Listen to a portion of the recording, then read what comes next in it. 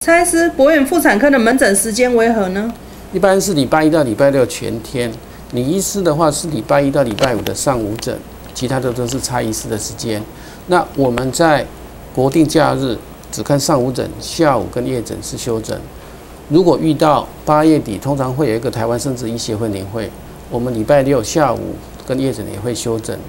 那另外一个休的比较长的时间是农历过年，大概会从除夕休到大年初五、初四、初五、初六，不一定要看当时候政府放假的情况。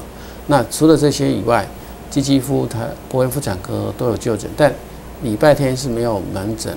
所以一旦如果你在博恩妇产科做医疗，比如说取卵手术，或者是经由阴道超音波导引抽取手术之后，手术后不适，如果是白天可以跟博恩妇产科联络；如果是遇到大半夜，你可以就近找当地的医学中心的急诊去处理你的不适。